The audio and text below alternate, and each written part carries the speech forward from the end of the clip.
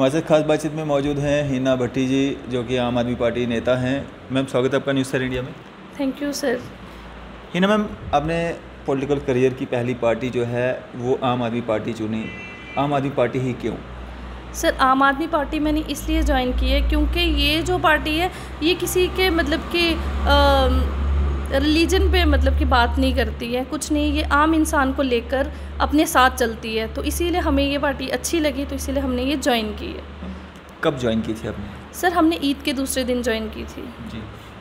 क्या एक बदलाव जो है आप जम्मू कश्मीर में चाहते हैं कि हों और क्या उम्मीदें जो हैं आम आदमी पार्टी से की जा सकती हैं? सर वही जो सबको प्रॉब्लम्स होती है लाइट्स की पानी की बच्चों के करियर की वो सब हम दूर करना चाहते हैं तो वो चीज़ें ही एक आम इंसान को चाहिए होती है। तो आम इंसान के ज़रिए ही एक आम आदमी पार्टी बनी है।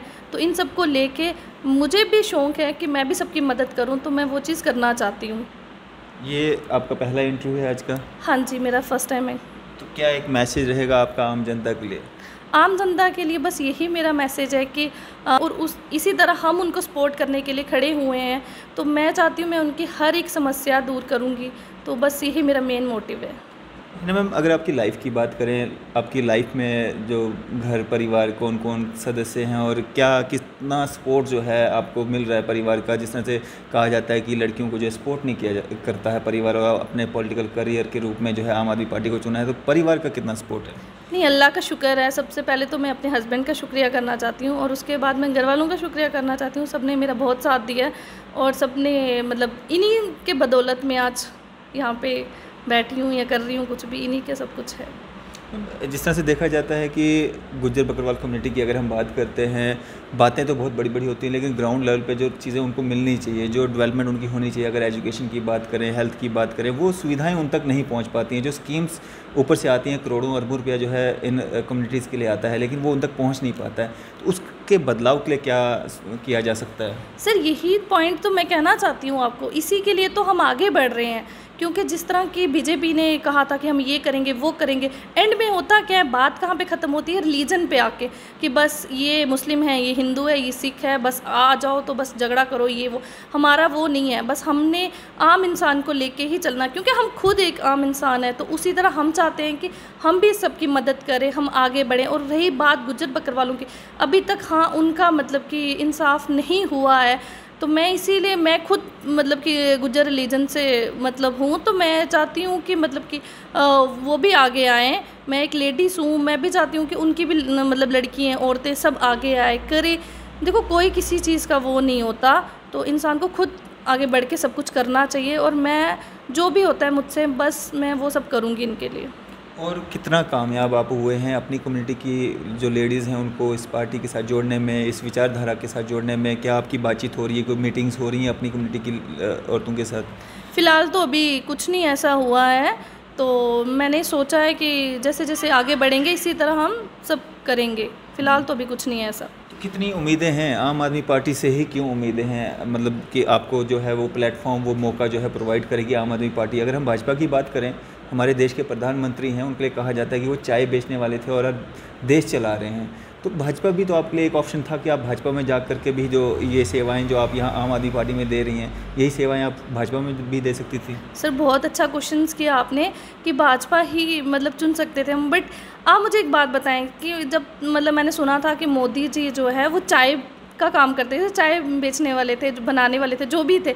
बट मतलब कि आज एक बच्चा जन्म लेता है तो उसका फ़ोटो भी उस टाइम वायरल हो जाता है। तो मतलब कि आज तक मोदी जी का फ़ोटो क्यों नहीं वायरल हुआ? बताएँ ना कोई तो बता सकता है कि फ़ोटो क्यों नहीं वायरल मतलब वो शुरू से ही आ, मतलब समझदार थे और समझदारी दिखा रहे हैं अपनी पर वो साजिश में समझदारी दिखा रहे हैं और किसी चीज़ में नहीं दिखा रहे हैं। और जो आगे उनके चेले वेले हैं वो भी सब उन्हीं की तरह है। मतलब आप कहीं ना कहीं ये कहना चाह रहे हो कि उनके लिए जो ये बातें कही जाती हैं कि वो एक चाय वाले से एक प्रधानमंत्री तक का सफ़र उनका जो उन्होंने तय किया है वो सब झूठ है मतलब वो चाय वाले कभी रहे ही नहीं हैं। जी नहीं बिल्कुल भी नहीं रहे क्योंकि अगर ऐसा होता तो एक फ़ोटो तो दिखाओ।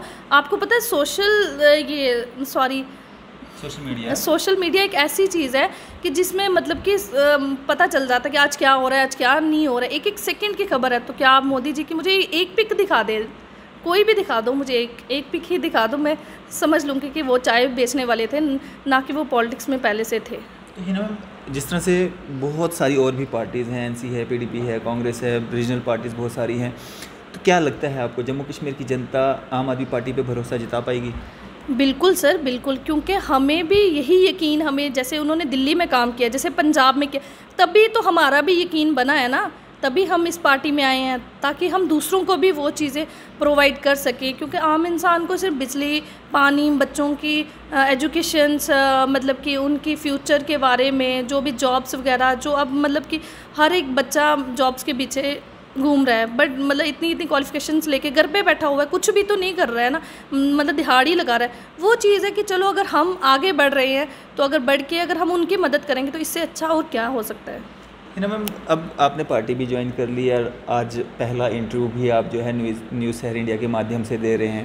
तो अगला कदम आपका क्या रहेगा? किस तरह से आप लोगों को अपने साथ जोड़ेंगे और इस कारवां को आगे लेकर चलेंगे? आ, अगला तो हमारा ये है कि हमने बठिंडी में मतलब कि वहाँ पे करनी है पार्टी वगैरह।